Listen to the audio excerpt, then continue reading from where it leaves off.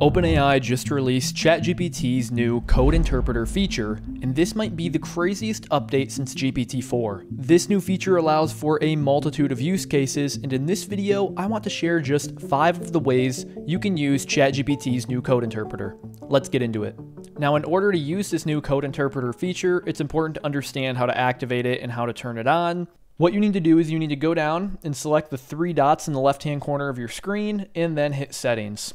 Once you're in settings, go down to the second tab, beta features, and then you will see plugins and code interpreter. What you need to do is you need to make sure that the code interpreter switch is activated. Then you can X out of this little box, close your sidebar, and now when you hover over GPT-4, you will see this code interpreter feature, which I have selected. So you can select that. And what you'll notice is new is we now have this little plus button where we can actually upload files to ChatGPT. Code interpreter use case number one is you can actually use ChatGPT's code interpreter in order to create GIFs. Now, I know that may sound a little interesting, but you can upload a picture, a static image, and you can create GIF images that are downloadable to your device. So in order to create this GIF, what I'm first going to do is upload a static JPEG image of myself. Then I'm going to give ChatGPT requirements that I want this GIF to have. So as you can see, I have this image here of myself, my centered professional headshot. And when I open it up, it will now be uploading into ChatGPT, and now I can send this message off to see what ChatGPT thinks of my file that I've uploaded, or what I can do is give it some instructions. So now what I'm giving ChatGPT instructions to do is to create a 5 second GIF with a slow zoom in effect, and then I say make this 10 frames per second. So now with the static JPEG image, watch what ChatGPT does. Similar to the web browsing feature, it has this little pop-up where it says working. You can go in here and look at all of the work that it's actually doing. It's using Python in order to generate this. And now it says, I've created the gift with the zoom in effect as requested. You can download it using the link below. And now we have a download the GIF file button where we can then select it. And now it's saying starting download, and now it's just downloaded to my desktop. And this is a pretty large file, 16.6 megabytes. Okay, now it's done downloading, so what I can do is I can open it up, and as you can see, it creates this GIF of it moving in on my face and it will just keep on repeating and this is a five second dramatic zoom in from that static image that I originally had. ChatGPT code interpreter use case number two is data cleaning. So what I did is I went to Kaggle.com and I got this sheet of FBI crimes. Kaggle has a ton of data sets you can get in order to test this. I'll leave a link to it down in the description below. If you want to get some data sets for yourself so you can test it with data that is already out there, you can do that. But I got this list of FBI crime rates in all of the United States, and it goes through a list of a ton of different crimes in an Excel sheet. But the data isn't very clean, and there's a lot of empty rows, empty columns. It's not organized well. So I'm going to tell ChatGPT to clean this data up. So what I've told ChatGPT to do is to clean this data in order to have it more organized and make more sense to analyze. Now when I send it off, ChatGPT is going to work itself out by loading in the data and going through step-by-step processes in order to clean this data to its best possible ability. It says the data appears to be in a somewhat unstructured format, and then it goes through what is unstructured, and then it starts getting into restructuring these columns, and it's working itself out in order to clean this data. So it's making this unorganized Excel sheet with a bunch of data all over the place. And what it's doing is it's completely cleaning it up. It's renaming the columns, and it's doing all this so that this is much easier to analyze, read, and understand.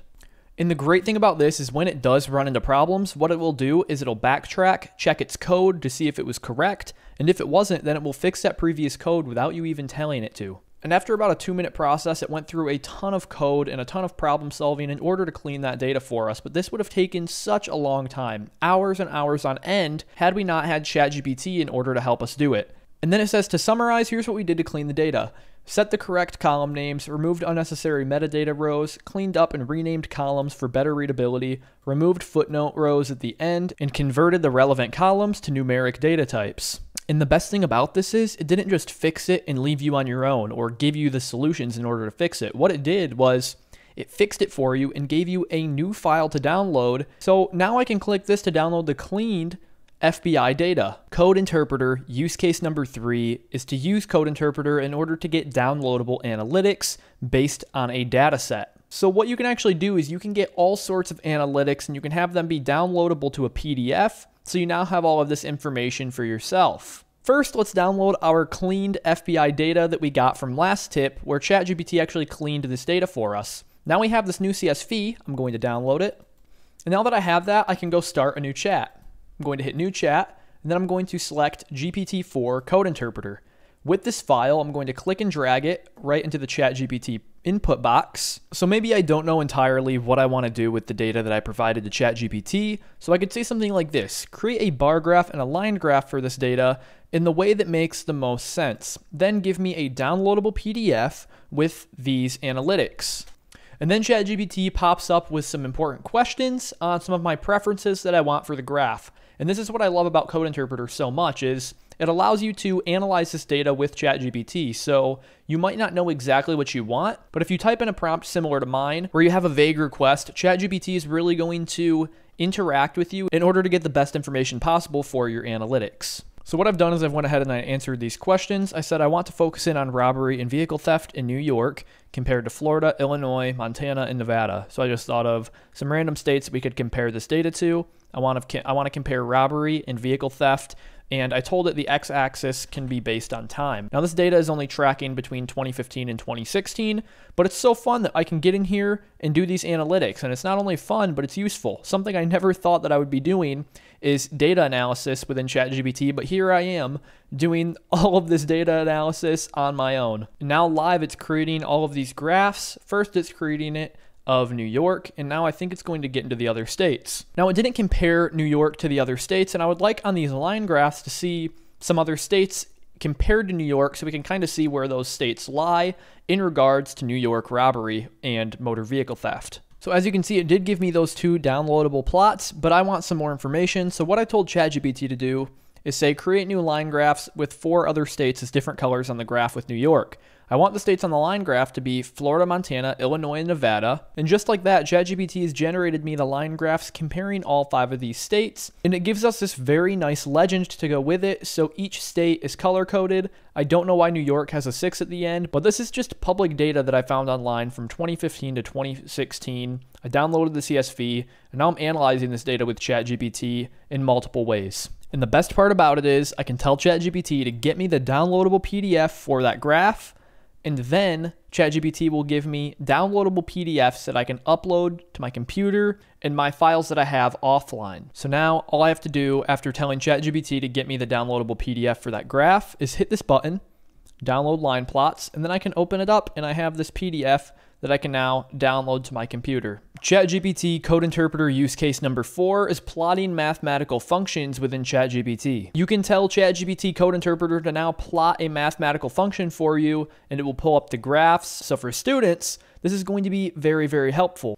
So I'm actually on Google here, and I'm just going to ask ChatGPT to plot one of these functions. So I'm just going to copy this cubic function here, and when I send it off, I don't even have to upload a file, but Code Interpreter can now plot these functions. And it's giving me step-by-step -step guides in order to do so. So it says, sure, to generate this plot, I need the values for constants A, B, C, and D. Could you please provide these values? So I'm just going to provide some arbitrary numbers here. So what we're going to do is we're going to send those constants off to ChatGPT, and now it's going to use Code Interpreter in order to generate and plot these functions within a graph. So as you can see, it did a very nice job at plotting this function. So now this gives me a very good overview of how to plot this mathematical function, and it goes way more in depth than just plotting cubic functions, I'm sure. So this is very big for the mathematical side of ChatGPT, because beforehand, ChatGPT would kind of struggle with math. You know, it was really good at writing, it could do a lot of good writing stuff, for creative writing, blog posts, whatever it may be, but it did struggle on the math side of things. But with this code interpreter update, it seems like it's starting to get the hang of math a little bit more.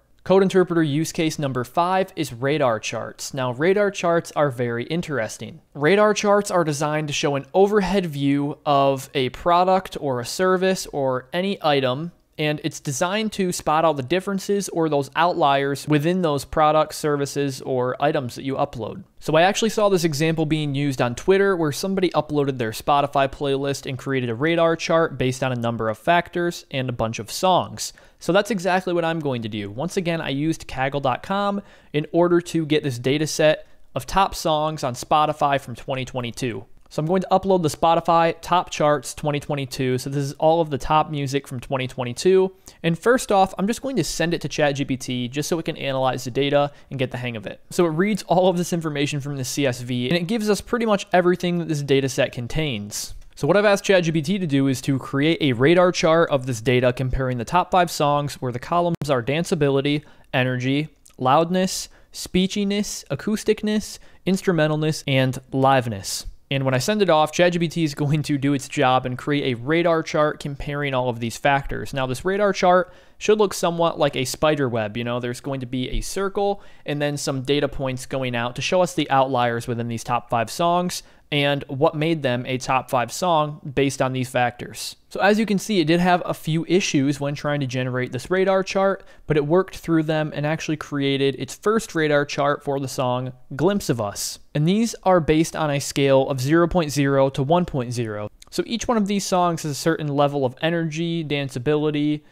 instrumentalness, all of this stuff, and they are rated on that scale. So for instrumentalness, as you can see, Glimpse of Us was rated a 0.0 by the Spotify CSV. So now when we get the other radar charts, if they're different colors, what we can do is we can overlap all of these grids and we can see which parallels and conclusions we can come to with the radar chart. So if a lot of them are spiking towards acousticness, maybe if you're a song creator, acousticness would be the route to go when trying to create a top song. If the top five songs of 22 are all spiking towards acousticness, then this is something to definitely look out for. So now graphed all of these radar charts for all of these songs, and these honestly are looking all over the board. The only parallel that I'm drawing between all of these songs is they all seem to have a certain amount of loudness to them. As you can see, those points are all way out there when it comes to loudness. As you can see for Starboy, we have loudness. Call Out My Name, we have loudness. Humble, we have a lot of loudness. Heat Waves, a ton of loudness. And A Glimpse of Us also has quite a bit of loudness, but then a big spike in acousticness. So this unique acousticness could have been the reason that Glimpse of Us did well. And I think that there was some sort of error within the data or the CSV table because as you can see, these songs up here don't actually match the songs down here. Now, these are all songs from Spotify's top charts of 2022, so I'm sure that they are all great and you can still draw those good parallels, but it's important to check your data before using it. So this has been five ways that you can use ChatGPT's new code interpreter. I hope that you enjoyed this video, and if you did and you like staying up to date with ChatGPT stuff, then subscribe to my channel and like this video. Comment below, let me know what you will be using Code Interpreter for. With that being said, I will see you in the next video.